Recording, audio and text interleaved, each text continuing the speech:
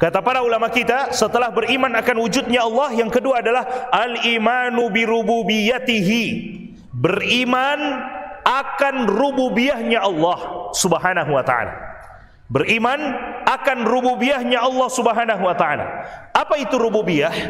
Rububiyah itu Bapak Ibu artinya mengesahkan Allah dalam perbuatannya ya. Supaya mudah kita tahu rububiyah itu artinya mengesahkan Allah. Biasanya ulama mengistilahkan tauhid rububiyah apa maksudnya? Tauhid mengesahkan rububiyah dalam perbuatan Allah. Jangan pernah duakan Allah dalam perbuatannya. Itu maksudnya. Beriman yang kedua kepada Allah artinya mengesahkan Allah dalam perbuatan-perbuatannya.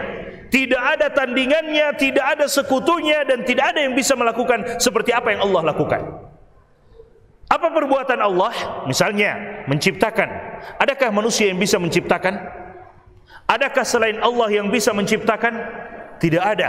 Yang bisa kita ciptakan adalah sesuatu tapi tidak sama dengan apa yang Allah ciptakan.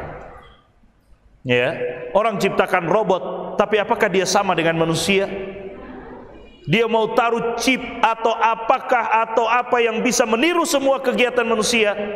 Tidak akan sama dengan ciptaan Allah Subhanahu wa taala.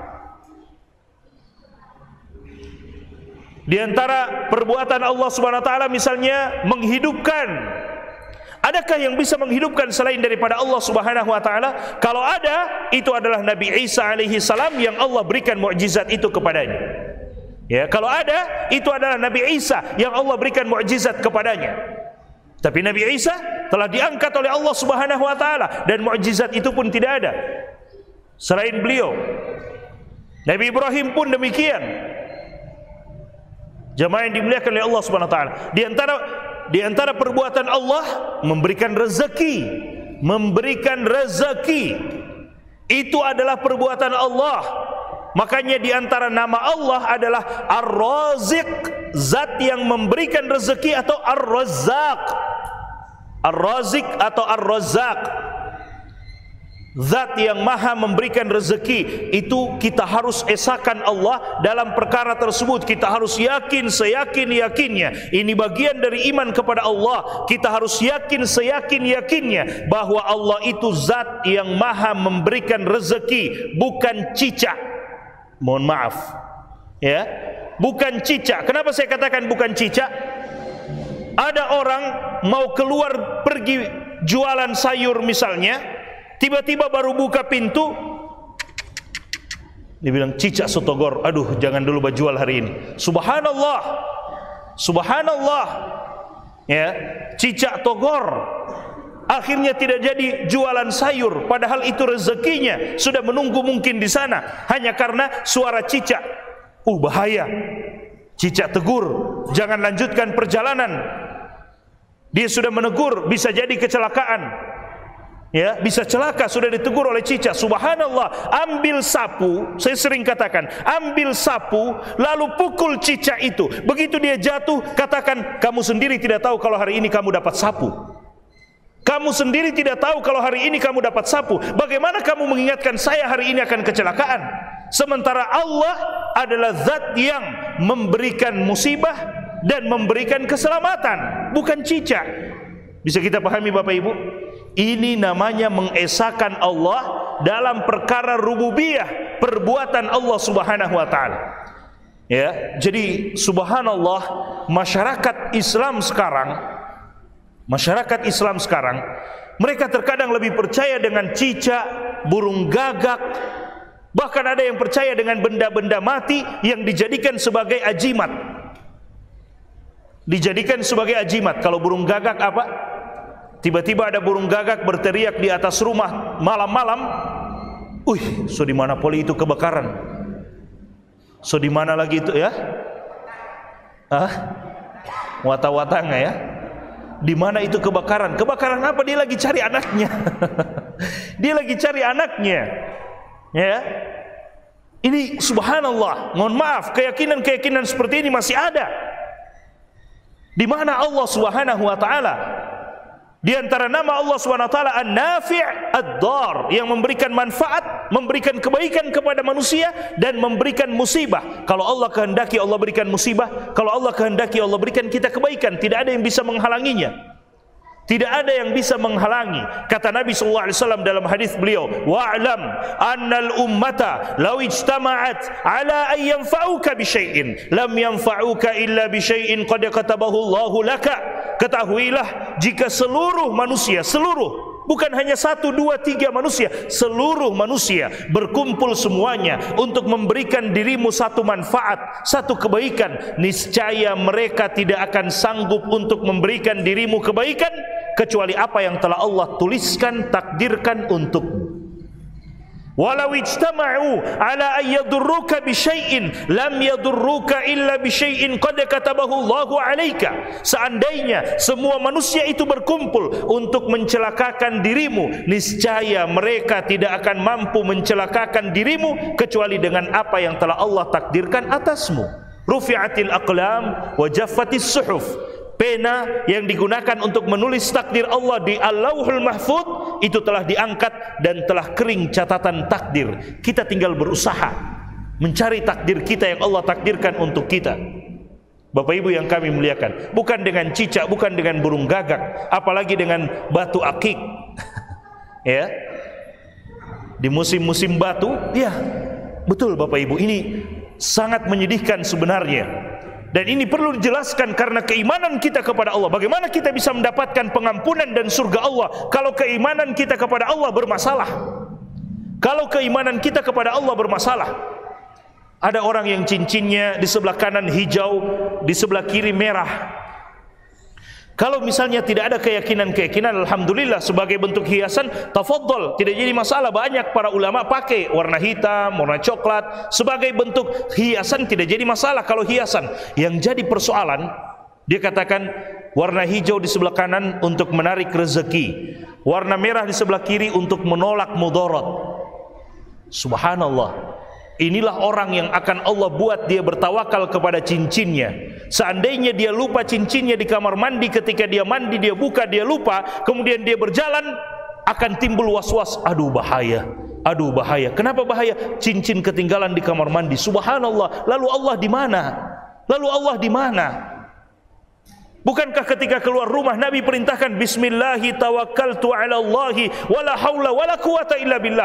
Aku bertawakal kepada Allah dengan menyebut nama Allah. Tidak ada daya, tidak ada upaya Kecuali dari Allah. Kalau saya ditakdirkan celaka, saya akan celaka. Kalau ditakdirkan saya selamat, saya akan selamat. Yang penting saya pelan-pelan di jalan Santai, dengar pengajian Di jalan, santai, berzikir kepada Allah. Kalau celaka, celaka. Kalau tidak, tidak. Bapak ibu yang kami muliakan tapi ini karena sudah bertawakal dengan cincin, akhirnya di jalan was-was. Datang bisikan syaitan, eh hati-hati. Kalau boleh balik ulang ke rumah saja. Ambil itu cincin. Akhirnya dia lebih percaya dengan syaitan. Dia balik cari itu cincin di dalam kamar mandi. Padahal kalau dia ambil martelu, dia pukul itu cincin. Cincin pun tidak mampu melindungi dirinya. Masa melindungi orang yang berakal? Cincin benda mati tidak mampu melindungi dirinya. Lalu dia berkeyakinan melindungi dirinya yang berakal. Umar bin Khattab radhiyallahu taala anhu seorang sahabat yang mulia jemaah sekalian khalifah kedua setelah Abu Bakar As-Siddiq radhiyallahu taala anhu Umar yang kata Nabi sallallahu alaihi wasallam wahai Umar tidaklah engkau berjalan di satu jalan kecuali syaitan akan mengambil jalan lain bukan jalanmu Lihat bagaimana keutamaan Umar bin Khattab. Sampai-sampai syaitan tidak mau lewat di jalan yang pernah dilewati oleh Umar bin Khattab. Allahu Akbar. Itu pun ketika beliau datang mendekat ke Hajar Aswad. Ketahuilah Bapak Ibu, tidak ada di bumi ini satu batu yang lebih mulia daripada Hajar Aswad yang ada di Ka'bah.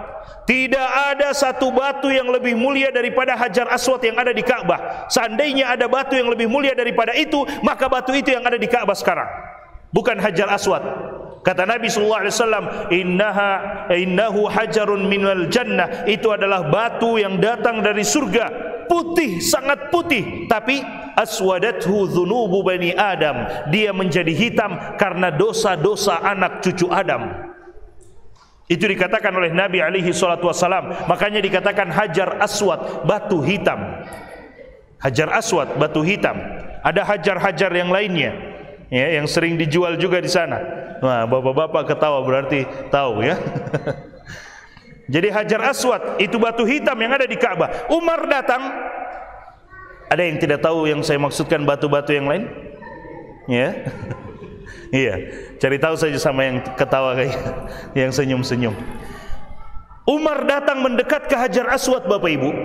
Lalu kemudian Umar ingin mencium Hajar Aswad karena sunnahnya ketika kita akan mulai tawaf mencium Hajar Aswad kalau bisa sampai kalau tidak bisa seperti Covid kemarin ditutup Hajar Aswad memberikan isyarat dengan tangan kita atau Nabi pernah me, apa mengusapkan tongkatnya ke Hajar Aswad ya ketika beliau naik kendaraan uh, naik onta beliau ketika beliau tawaf.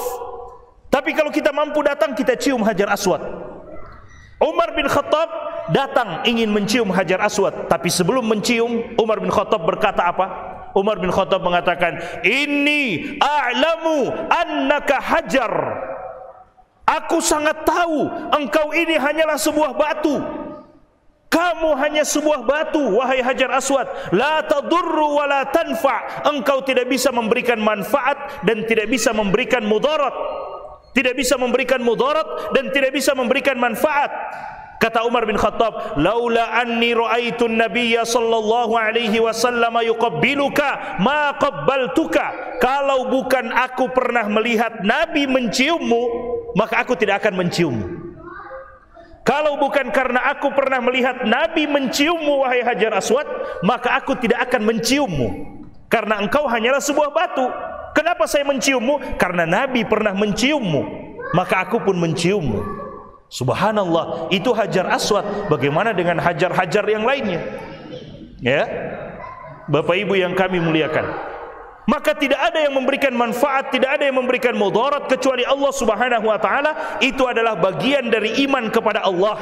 Harus kita yakini. Itu adalah bagian iman dari Allah Subhanahu wa taala kepada Allah Subhanahu wa taala. Oleh karena itu, orang-orang yang beriman ketika mereka mendapatkan sesuatu, ketika mereka tertimpa sesuatu, Nabi perintahkan mereka untuk mengucapkan apa? Qaddarullah wa masya'a fa'al. Allah sudah takdirkan dan apa yang Allah inginkan Allah lakukan. Ya, semua sudah ada takdirnya. Saya cuma bisa berusaha. Tapi takdirnya ada di tangan Allah Subhanahu wa taala, bukan saya yang menentukan. Saya hanya diperintahkan untuk berusaha, mengambil sebab, tapi tidak mesti dengan sebab itu saya dapatkan hasilnya. Seperti orang sakit, dia diperintahkan mengambil sebab berobat ke dokter minum obat tapi tidak semua orang minum obat sembuh. Ya bisa dipahami Bapak Ibu? Tidak semua orang pergi ke dokter sembuh. Ada orang yang belum sempat insya Allah besok saya akan ke dokter. Ya sakit sekali terasa. Besok tiba-tiba Allah berikan dia kesembuhan belum pergi ke dokter. Ada orang yang sudah pergi ke dokter berkali-kali belum juga sembuh. Tapi dia sudah mengambil sebabnya